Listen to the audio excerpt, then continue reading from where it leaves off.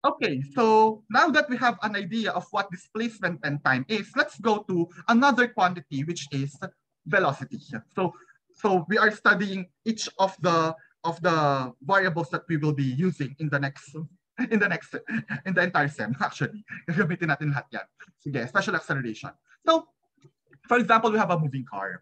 A moving car that, well, of course, is moving. That, that's like that. So of course, what can we can you can have a stopwatch, for example, to measure the the, the time it took for this um, car to move from an initial position to a final position. So yon. So ang gawin natin, let's idealize. So, let's idealize the system as if initially, so this is set to, so ang unang ginawa, di ba? Since we idealize the situation, ang unang ginawa, nag-set ng coordinate system. So here we will assume that the positive axis is the one at the moving at the east. The direction of the positive axis, the positive x-axis is towards east. So yung negative towards west. Okay? So yon. So let's idealize. So uh, we assume that initially the car is at some initial position um, and x equals zero here is the, at the origin. But in this case, the position of the car initially is not at the origin. It's something that's uh, far from the origin, but, and it moved. And it stopped at some point, at some final position, xf. So yan, so it stopped at some direction. Ganda-ganda talaga ng size Rene. okay, so the time interval here is the change in um, from initial time to some final time. Usually the initial time is set as zero. Pero in general, pwedeng hindi naman. So the time interval is delta t minus di. And the displacement is the vector um, from the initial position to the final position. That's I said is x2 vector minus x1 vector. Okay? Questions?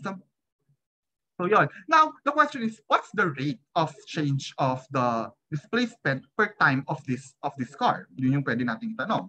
So, doon papasok yung average velocity. So the average velocity is so again, you have this system here. You started with T1.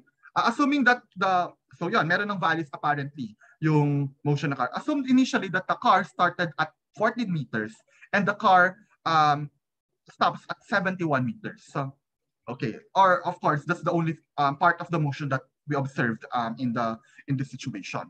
So the average velocity is the rate of displacement over time. So we can compute the average velocity such that such as it's just the difference of the displacements over the difference in time. So delta, uh, sorry, difference in positions, sorry for that, walang difference in displacement. Difference in positions, which is your displacement over the time interval, which is the differences in time. Difference in time, so pala. Okay, so yon. So that's basically your average velocity. Again, it's average because it's possible that the car slowed down in this area or maybe speed up in this area and so on and so forth. What we only are interested for now is the average of average rate of change in um, in the position or therefore average rate of displacement over a time interval. Okay, so as an exercise, calculate the velocity of the for the figure above. Okay, I'll uh, calculate the velocity for this figure above. Um, I'll be giving you maybe a minute to go to go through that. And actually, calculator break to, pero sige. I'll pause recording. Okay, so two minutes have elapsed. Um, let's calculate the velocity of this figure. So basically, we just need to substitute the quantities. So V average x is just equal to um, the final position is 71 meters minus the initial position, which is 14 meters, all over the, the final time, which is 4 seconds, minus the initial time, which is 1 second, and we get something like, andito yung sagot, 19 meters per second. So that's the answer. Did you get your the answer correctly? If not, okay lang naman yan. If yes, that's good. Okay?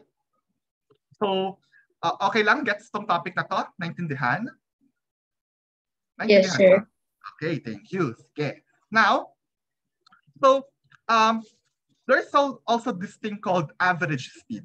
So average speed is different from average velocity in the same way that um, distance is different from displacement. So average speed is just distance over time interval. So we will not define our speed to be v. Uh, some books do that, but for because what's important for us is the velocity of a particle, not the speed of the particle. In this context, we will define our average speed as just av speed. Ganyan lang siya isinusulat ngayon. Okay? Baka kasi sanay kayo sa iba yung teachers dati na V yung ginagamit for speed. Pero minsan nakakalito siya. Okay? Questions? May tanong ba rito? It's just distance over time. Of course, this is more familiar to you guys. Okay. For example, in two seconds, an object took the following path. So let's say you have an, a particle initially at this position, then it moved 10 meters to the east, and then it moved 8 meters to the west. So calculate the average velocity and the average speed. So since this is an example, I need to solve this. Um, so what is the average speed? The average speed is just what? Again, since we are talking of distances here, we do not consider the direction the particle has traveled or the object has traveled. So in that case, we just add them as is. So we have 10 meters plus 8 meters all over 2 seconds, which gives you what? Um, 9 meters per second. Tama? Tama? Okay. Now, however, what about the average velocity? So the average velocity is, space. So the average velocity is just, note here that uh, we will assume a coordinate system of the form something that's positive it's towards east, something that's negative is towards west. So the average velocity is how do you calculate this? So the final position minus the initial position. Okay? So um, when you do that, and you see that the average speed is uh, just the magnitude of the average velocity. So yon. So anong anong anong sagot dito? Anong sagot dito? So you have okay, so the average velocity is just 10 meters i hat um, total dis total displacement traveled. So plus an 8 meters uh, negative i hat all over 2 seconds. So the answer should be what? Ano yan? 1 meter per second. 1 meter per. Yes, it's 1 meter per second. Kulang pa.